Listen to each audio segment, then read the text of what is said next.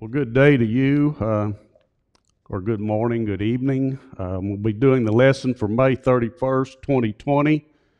Uh, folks, this is going to be our last lesson in, the, in Romans. We'll be in this uh, in the in this book uh, in our in our lesson book, uh, Explore the Bible, and uh, like I said, it'll be the last lesson in Romans today, and and we'll be moving into another book, I'm sure. Um, you know, usually I like to start out with a little something that's just to, just to start it out. But you know, I to tell you a story.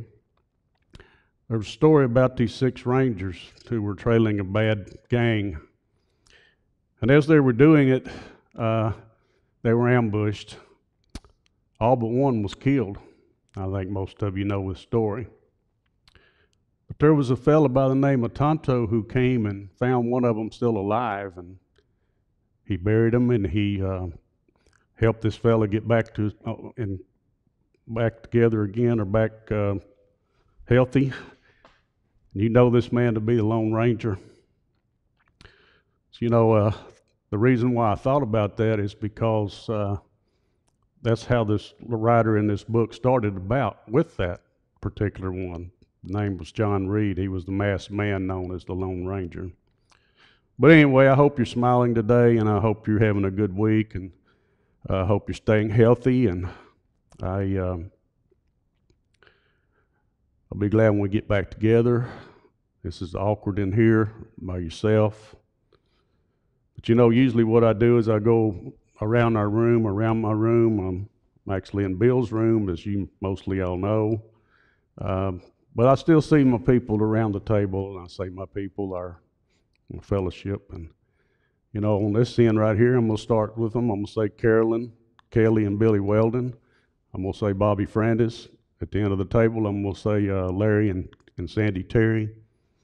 Then I'm going to say Deanna and Keith Bornman, Marcia Crosby, Celia Bell, and my wife, Stephanie Wells.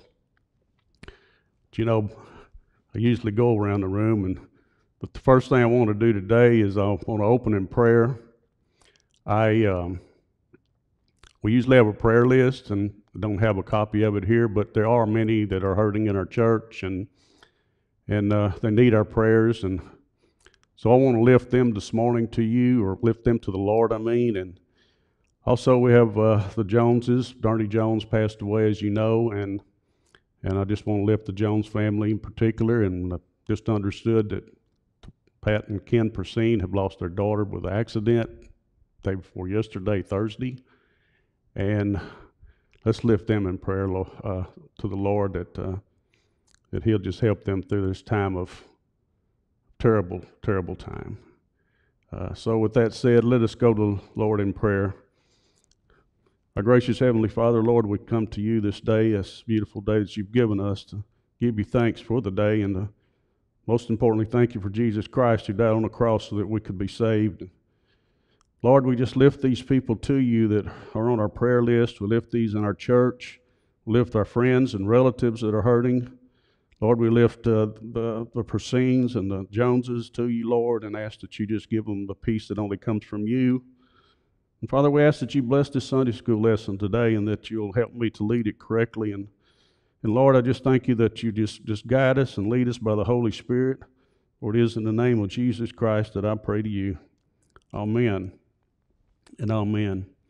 Folks, I'm going to say continue to pray for our nation. As you well know, there's a, this stuff going on is, is taking its toll on people. So let's continue to pray to the Lord for our nation, just as we've done many times, and continue to do that. So, uh, you know, with that said, I'm going to go ahead and jump into the lesson. If you want to read with me in our book, well, uh, if you have one, please do so. The lesson's called Reach today. You know what it says? Believers must make every effort to share the gospel with everyone. Yes, folks, that is our responsibility, is to share the gospel. You know, uh, I want to say that God judges the heart. And your sins may be secret to man, but nothing is hidden from God. Jesus Christ is the judge of all of us. We will stand or fall by him. If he is our Savior and Lord, we will go to, the he- to go to heaven. And if we have not accepted Jesus Christ as Savior or Lord, we are lost. You know, uh, I will tell you a little. I always had a little bit to add, and I'll add this to it today as well. Uh, you know, on May 24, 1738, a discouraged missionary went very unwillingly to a religious meeting in London. There, a miracle took place. About a quarter before nine, he wrote in his journal, I felt my heart strangely warmed. I felt I did trust in Christ and Christ alone for salvation, and an assurance was given me that He had taken away my sins, yes, even mine, and saved me from the law of sin and death. You know, that missionary was John Wesley. I'm sure you've heard of him. The message he heard that evening was the preface to Martin Luther's commentary on the book we're studying today, Romans. You know, just a few months before that, though, John Wesley had written in his journey, I went to America to convert the Indians. But oh, who shall convert me?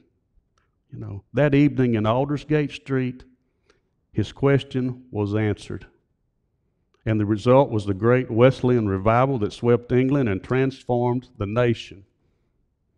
You know, Paul's epistle to the Romans is still transforming people's lives today, just the way it transformed Martin Luther and John Wesley. The one scripture above others that brought Luther out of mere religion into the joy of salvation by grace through faith was Romans 1:17. The just just shall live by faith. Faith, folks, alone. You know, the Protestant Reformation and the Wesleyan Revival were both the fruit of this wonderful letter written by Paul from Corinth about the year 56 AD. The letter was carried to the Christians at Rome by one of the deaconesses of the church, and her name was Sister Phoebe, as I'm sure you've heard. It talks about her in chapter 16, which is after this lesson. But imagine this you and I can read and study the same inspired letter that brought life and power to Luther and Wesley. And the same Holy Spirit who taught them can teach us. You know, you and I can experience revival in our hearts, our homes, and churches. If the message of this letter grips us, it has, as it has gripped men of faith in centuries past. So, moving into our lesson more this morning, we're going to be studying in Romans in your book, if you will. Romans 15, chapter 15, verses 14 through 21, and verses 30 through 33. And here's where I started. John Reid, the name of the masked man known as the Lone Ranger, was rarely alone. He was lone in that he was the sole survivor of an ambush by outlaws, but he was far from alone because he had a companion. You know, sometimes we might think of Paul as a Lone Ranger, but his mission required him also to depend on others. You know, the sharing of the gospel requires a team effort, and Paul reminded the Roman believers of this in the closing letter of the closing section of this letter. All right, moving into the, understand the context this morning. As Paul closed his letter to the Romans, he returned to the topic of salvation. But in a different context, while he had used the first part of the epistle to show that everyone needs a Savior, he now emphasized the responsibility Christians have to share that Savior with others. Paul had a passionate desire to extend the reach of the gospel beyond Rome to areas outside the empire. Instead of building on someone else's foundation, he wanted to reach those who had never heard the name, the name of Jesus. Of course, the Great Commission, you remember that, included familiar places like Jerusalem, Judea, and Samaria, but it also pointed believers to wider regions, the uttermost parts of the world. The residents of those churches were heaviest on Paul's heart as he wrote this letter to the church. The apostle knew that he could not succeed on his own, so he asked the believers in Rome for help. This help might have included financial offerings, I'm sure it did, but Paul primarily requested their prayers on his behalf. He had others, he, he had other issues to resolve before he could realize his dream. And he asked that they pray for him in those matters. Paul closed his letter with a long list of fellow believers who had been faithful partners with him through the years. While the apostle had not yet visited Rome, He apparently had met some members of the Roman church during his travels. He wanted them to know how much he appreciated them before he added one final warning and one final blessing, as he does in chapter 16. All right, I'm going to move and explore the context this morning and get into our verses. Uh, if you want to, go along with me. Fulfill your calling is the first part of this lesson today. And Paul states, My brothers and sisters, I myself am convinced about you that you also are full of goodness, filled with all knowledge, and able to instruct one another. Nevertheless, I have written to remind you more boldly on some points because of the grace given me by God to be a minister of Christ Jesus to the Gentiles, serving as a priest of the gospel of God. My purpose is that the Gentiles may be an acceptable offering, sanctified by the Holy Spirit. We'll get into that a little more in a minute. Paul called the Romans brothers and sisters. We call each other brothers and sisters. Even though he had met, never met many of them, he considered them family, both in his affection for them and in his partnership with them. Paul shared some kind words for the Romans, not as flattery, but because he was convinced they were spiritually healthy. Morally, they demonstrated goodness. They understood the difference between right and wrong, and they did this best to choose what was right. You know, intellectually, they were filled with all, with all knowledge. They had been taught well and had held firm to those teachings. You know, their doctrinal integrity meant they could instruct one another, they could encourage each other, but they also could hold each other accountable when necessary, and that's what we should do. All in all, the Romans were solid Christ followers, as it reads this morning. So I'll break it down just a second here. Paul's ministry to the Gentiles. Unless we understand that, that, that ministry of Paul, the distinctive ministry of Paul, I probably would say, we will not fully appreciate the message of God's grace. And Paul explained the characteristics of his ministry. First of all, it was received by grace. When he was Saul of Tarsus, you remember, the crusading rabbi, Paul knew little of the grace of God. He persecuted the church and he sought to destroy it. But when Paul met Jesus Christ on that Damascus road, he experienced the grace of God. It was God's grace that saved him, and it was God's grace that called him and made him an apostle. Yes, it is God's grace that saves you. Okay, moving on a little bit in our book verses 15 and 16 says never he says nevertheless or the writer says nevertheless paul also knew that the romans still had things to learn no one had it all together spiritually but all of them had the potential to become more like christ folks no we don't have it all together spiritually but we do need to become more like christ and we need to strive to do that daily you know he wrote them to fill, to fill in some gaps and to remind them of things they needed to remember I've said that many times in our class. I don't, I don't think we can hear it enough sometimes, folks. Yes, you know, we need to be reminded of things. Paul confessed that he wrote more boldly to a church he did not plant than one might expect, but his authority was as an apostle made it possible. In addition, the grace of God, the unmerited gift he had received through Christ, pushed him to be as clear as possible about these important matters. Whether he was sharing a doctrine that was new to them or simply restating an important truth they had forgotten. It was all part of drawing them closer to Jesus Christ. And it was all part of his goal of helping them to become more like Jesus. God had called Paul to be a minister of Christ Jesus to the Gentiles, while Peter and others working among the Jews.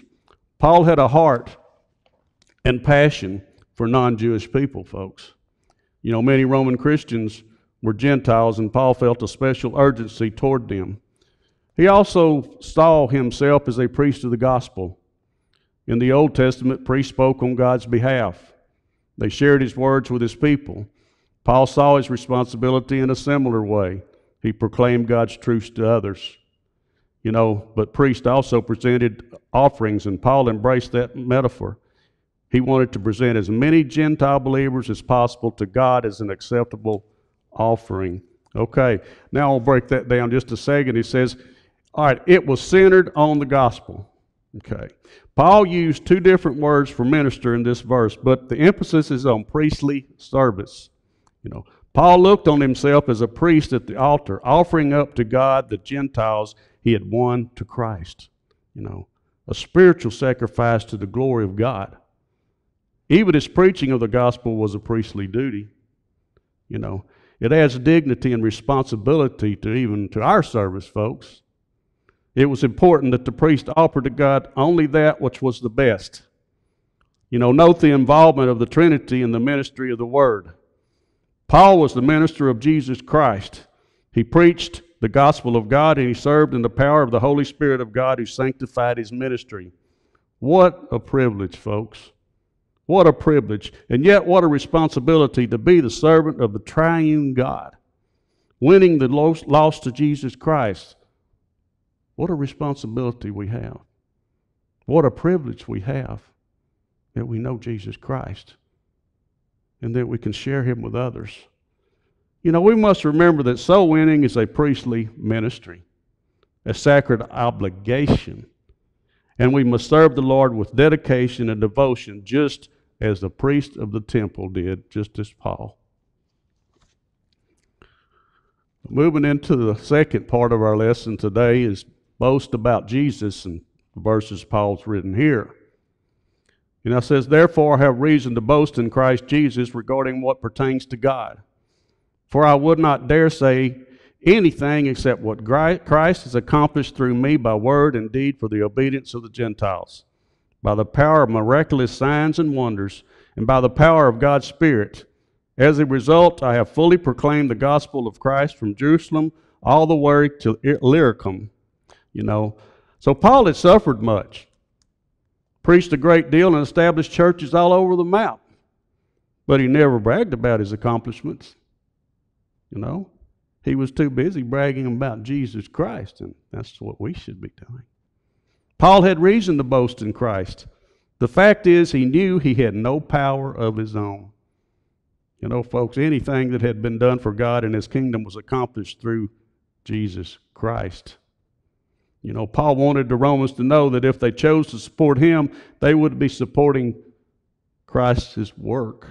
But Paul was doing God's work, not promoting his own agenda. You know, after 2,000 years, we recognize the great impact of Paul's life. The Romans perhaps understood it as well, even in the first century. But Paul demonstrated incredibly incredible humility and keen understanding of what the Christian life is all about. He knew it would be foolish to dare say anything about his own achievements. Yes, Paul realized that Christ alone accomplished this work through him. I pray that we all understand that. Paul could say, I have fully proclaimed the gospel of Christ from Jerusalem all the way to Illyricum. This didn't mean that everyone had heard about Jesus, but that he had completely fulfilled his calling to that point. You know, Jerusalem represents the birthplace of Christianity, while Illyricum was the Roman process between Greece and Italy. Christ's ministry through Paul had reached from the heart of Judaism to the proverbial outskirts of Rome. So, what are we saying? It was done for God's glory. It says, Therefore I glory, I glory in, Jesus, in Christ Jesus and my service to God. You know, the word translated glory carries the idea of boast and, and maybe take pride in. And Paul used it before in Romans many times.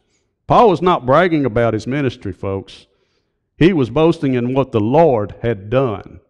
Yes. The apostle did not serve and suffer as he did just to make a name for himself, for he had a much higher purpose in mind.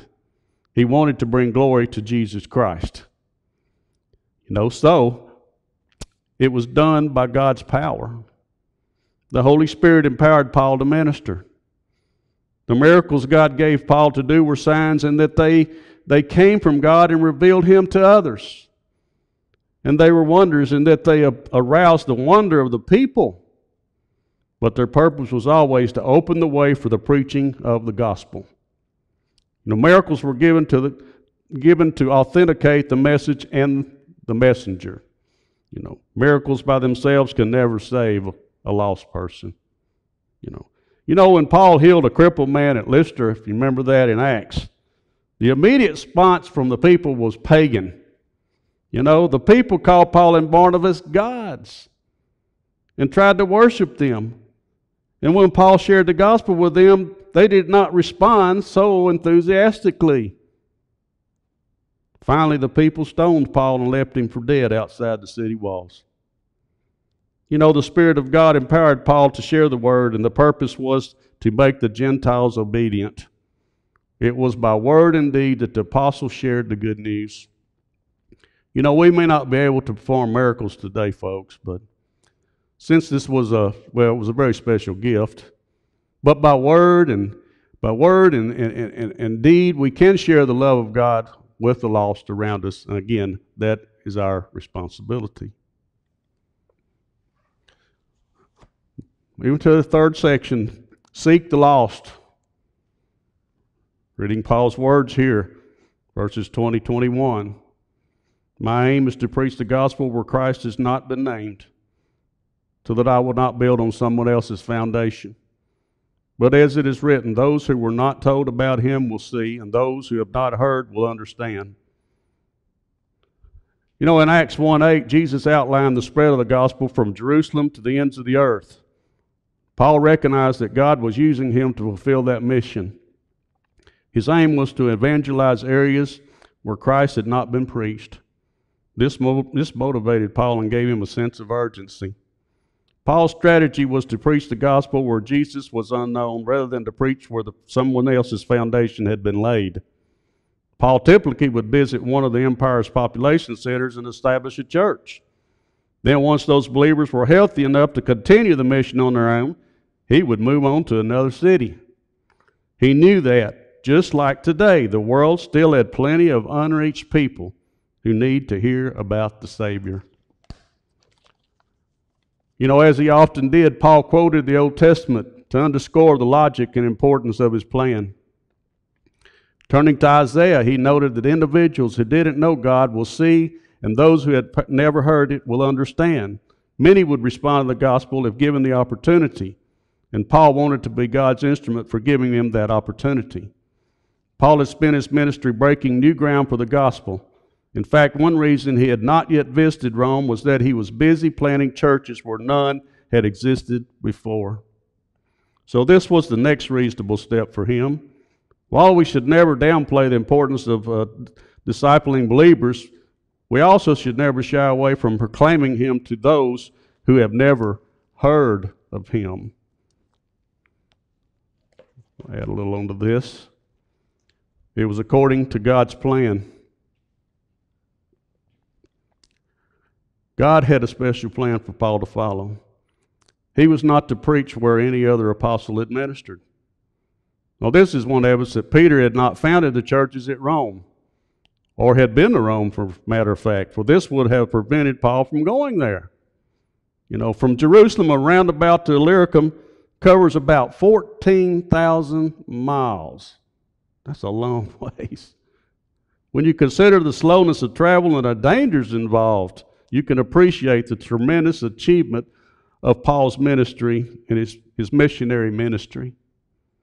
While it is not wrong to enter into another man's labors and to teach where another man is taught, it is also good to have a pioneering ministry and take the gospel to new territories.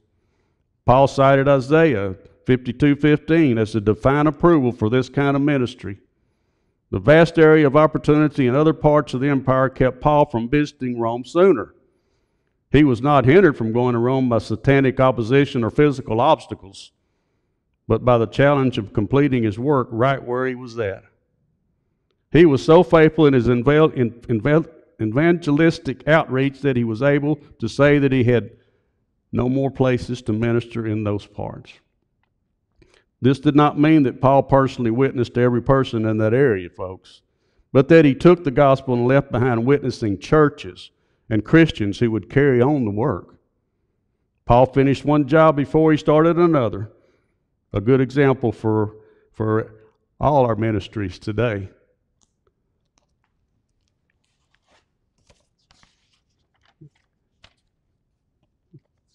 And lastly, to say, Last part of our lesson is called partnering, partner with others. Now I appeal to you, brothers and sisters, through our Lord Jesus Christ and through the love of the Spirit, to strive together with me in fervent prayers to God on my behalf. Pray that I may be rescued from the unbelievers in Judea, that my ministry to Jerusalem may be acceptable to the saints, and that by God's will I may come to you with joy and be refreshed together with you. May the God of peace be with all of you. Amen. You know, for the second time in this passage, Paul addressed his readers as brothers and sisters. It is impossible to escape the importance of relationships within the body of Christ. Paul understood that he did not minister in isolation. Because they shared this common bond, Paul appealed to the Roman believers for help. The word appeal indicates a strong request, but this request wasn't based on Paul's needs. It related to our Lord Jesus Christ, the one who established their relationships and gave it meaning. It also related to the love of the Spirit, that is, the deep love that the Spirit gives believers for one another that should motivate them to pray for Him. You know, instead of asking for financial support, Paul requested the Romans fervent prayers. His wording, strive together, paints the picture of an intense athletic struggle that requires great effort and coordinated teamwork. And yes, it's teamwork for us, folks. It's, as a church, we are a team. Paul's experience told him that difficult times lay ahead and, and he would need partners willing to pray with him and for him. Paul specifically asked the Romans to pray about three challenges he knew he would be facing. First, he asked them to pray that he would be rescued from the unbelievers in Judea. Many Jews in Jerusalem considered him a traitor to their faith, which would have put his life in danger. You know, secondly, he asked the Romans to pray that the financial gift he was bringing on behalf of the Gentile believers for hurting Christians in Judea would be acceptable to the saints. You know, his ministry to the Gentiles could raise concerns about among a primary Jewish audience. So he asked that their hearts would be warm toward the mission God had given him. And finally, he asked them to pray that he would soon be able to visit them personally.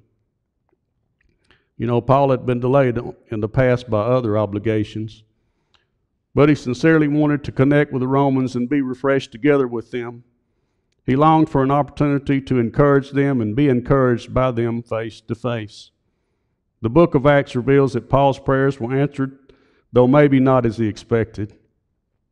The Jewish Christians did welcome him. He was protected from his enemies by being arrested by the Romans, and he did make it to Rome as a prisoner to stand trial before Caesar. You know, after requesting a partnership of prayer from the believers in Rome, Paul offered a brief prayer on their behalf. He asked that they would experience the presence of the God of peace the leaders of the Roman Empire took pride in what was known as the Pax Romana, the Roman peace. But while the peace brought a degree of, of security to the empire, it was maintained through an iron fist of military might. It drew its power from fear and intimidation.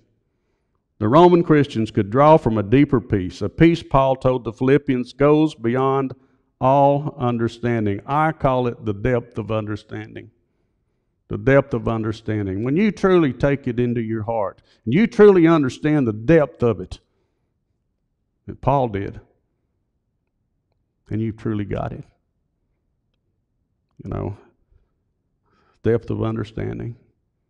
So Paul's amen concluded his primary teaching in this letter. Chapter 16, after this, essentially includes a long list of Romans who, who had blessed him and others who wanted to bless the Romans. Again, he focused on the power of partnerships, which should encourage us to follow that example today. And yes, folks, we should follow Paul's example today. 2,000 years ago or more, he wrote this letter.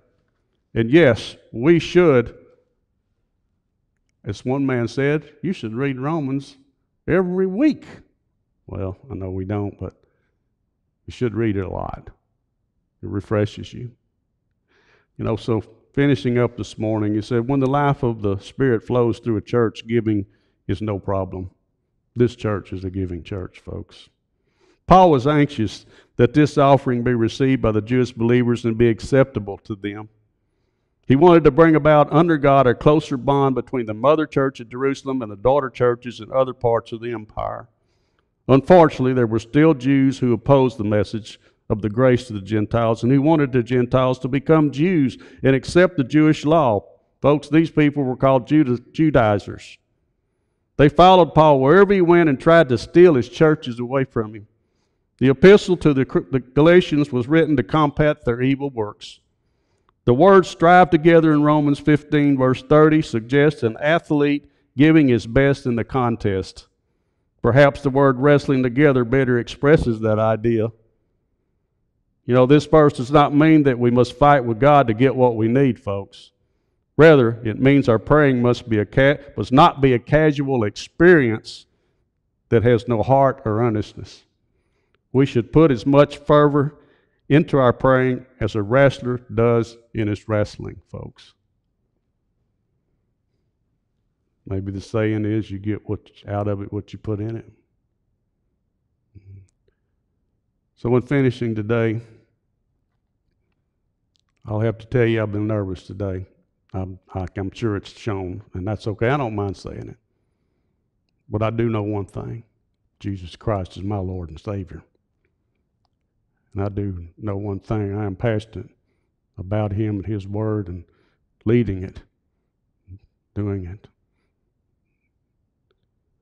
When they're finishing up today, you know, God calls believers to share the gospel with others.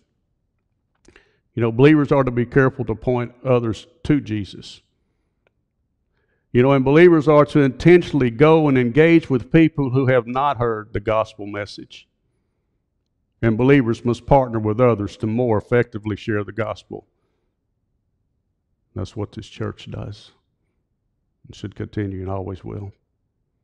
Thank you for the time that I've been here, and I hope this lesson's blessed any someone. And I pray that, uh, well, in my prayer, let me pray, and we'll close out.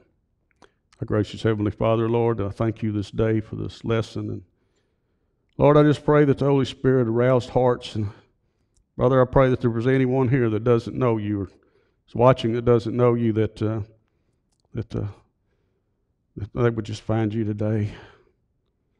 Lord, I just thank you for the opportunity to lead your word. And I thank you that the Holy Spirit guides and leads us and corrects us as, as He does. And Father, I just pray that uh, be with us as we go back, go through this this virus that's going around this world and this country. I pray for this nation. Lord, I pray that our people will be back together in church very soon. Father, I pray this in the name of Jesus Christ. Amen. And amen.